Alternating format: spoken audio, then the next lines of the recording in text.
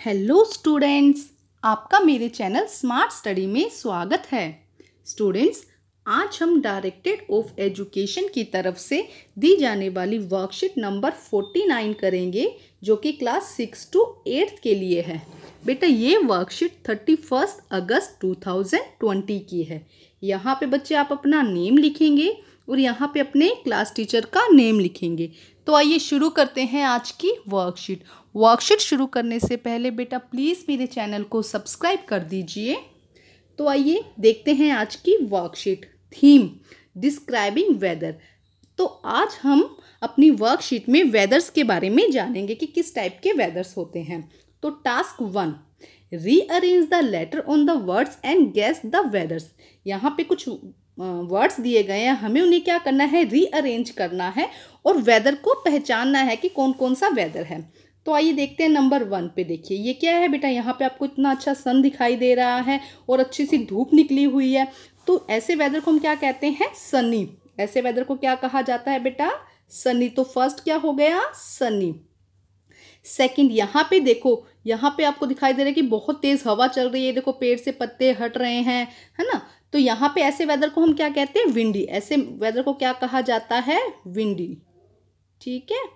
उसके बाद नेक्स्ट देखिए। नेक्स्ट में आपको देखो बहुत सारे क्लाउड्स दिखाई दे रहे हैं बेटा। देखो कितने सारे क्लाउड्स दिखाई दे रहे हैं।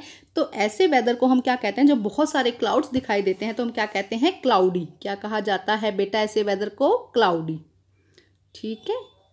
अब हम करते हैं नेक्स्ट देखिए यहाँ पे क्या दिख रहा है? ये तो आप सब लोग पहचान ही गए होंगे। ये कैसा वेदर है बेटा? जब रेन हो रही है यहाँ पे तो ऐसे वेदर को जब रेन होती है तो ऐसे वेदर को क्या कहा जाता है? रेनी क्या कहते हैं बेटा हम? रेनी ठीक है?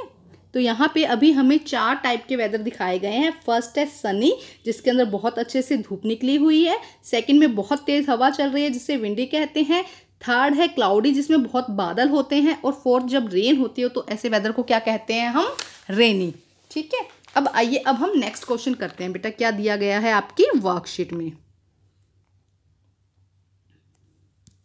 देखिए task B how is the weather today today the weather is आज का वेदर कैसा है बेटा तो हम कहेंगे क्लाउडी क्योंकि क्या है क्लाउडी और कभी कभी रेनी भी है मतलब कभी कभी क्या हो जाती है, बारिश हो जाती है और कभी कभी क्या है, सिर्फ़ क्लाउड्स होते हैं। तो क्लाउडी और रेनी जैसा भी आज का मौसम है, आपको दिख रहा है, आप उसके अकॉर्डिंग इसे फिल कर दीजिएगा। और मैं अगर करूँगी तो मैं इसको कर दूँगी क्लाउडू क्योंकि चारों तरफ़ क्या है, बादल ही बादल हैं। ठीक है? तो ये हो गया हमारा टास्क नंबर बी अब हम करते हैं टास्क सी देखिए क्या दिया गया है। Read the phrase given below write them in the appropriate column in the table यहाँ पे कुछ फ्रेजेस दी गई हैं बेटा। इनको हम रीड करते हैं और यहाँ पे जो बॉक्सेस दिए गए हैं, इसके अंदर हमें इसको फिल करना है। तो पहले हम ये फ्रेजेस पढ़ते हैं। फ़र्स्ट सी द सन मतलब कि सन को देख सकना अच्छे से। वियर अ स्वेटर स्वेटर को पहनना। फ्लाई अ काइट काइट को उड़ाना। पतंग को उड़ाना। Go out without an umbrella बाहर जा सकते हैं बिना अम्ब्रेला के। ठीक है? Enjoy a cold drink cold drink को इंजॉय करना, ठीक है? उसके बाद सी अ रेम्बो रेम्बो को देखना.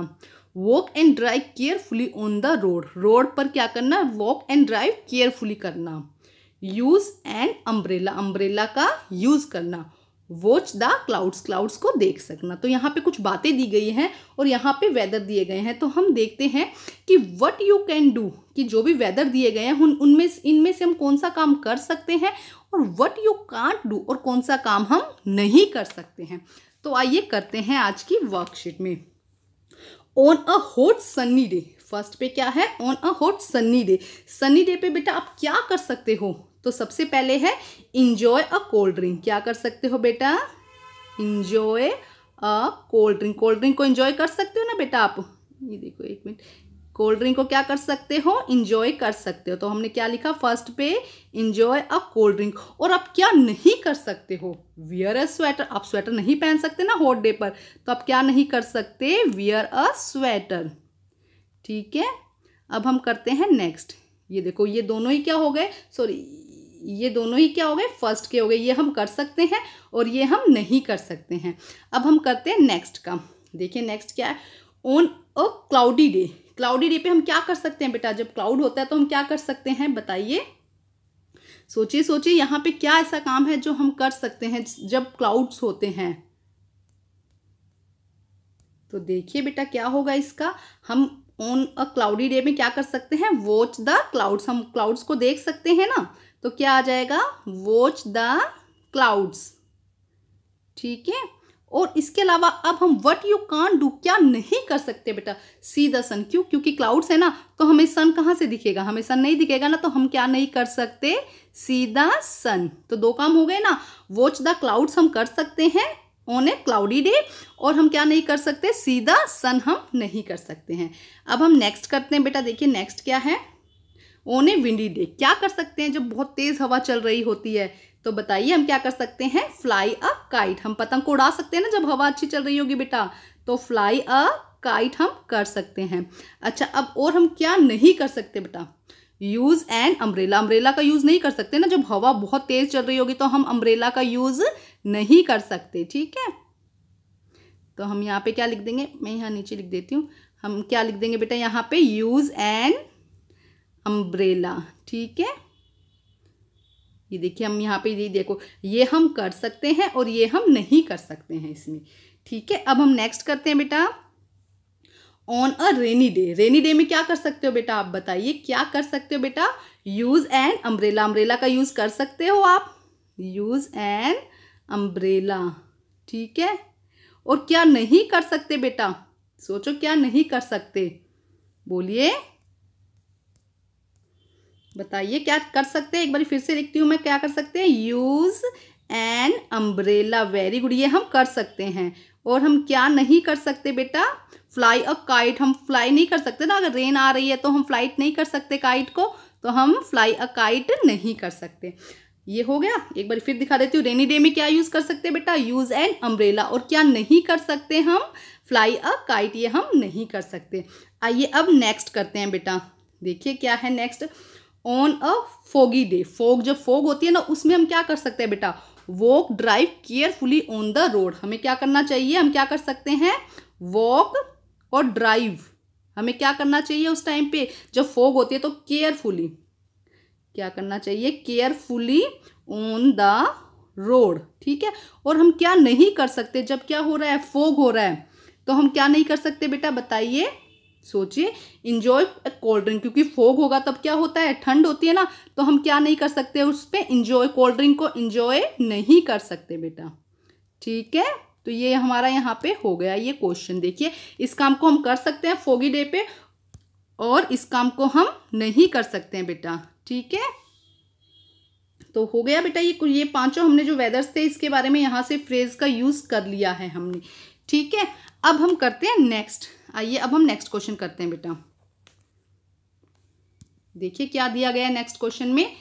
Task D let us match the word with the correct picture हमें क्या करना है, यहाँ पे पिक्चर्स दी गई हैं, यहाँ पे वर्ड्स दिए गए हैं मैच करना है। देखो यहाँ पे क्या है प्रॉपर अच्छे से सन निकला हुआ है और उसके साथ क्या है क्लाउड्स भी हैं थोड़े थोड़े तो इसे हम क्या कहेंगे बेटा? इसे क्या कहेंगे? पार्शियली क्लाउड्स इसको क्या कहेंगे हम?